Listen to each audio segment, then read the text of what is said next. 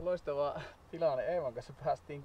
Eeva toimi kamera henkilönä, ei miehenä, kun päästiin 30 nuorta Impala urosta ja semmoisen ehkä 50 metriä tuli tänne, niin päästiin hienosti jäljittämään. Thank you. Okay.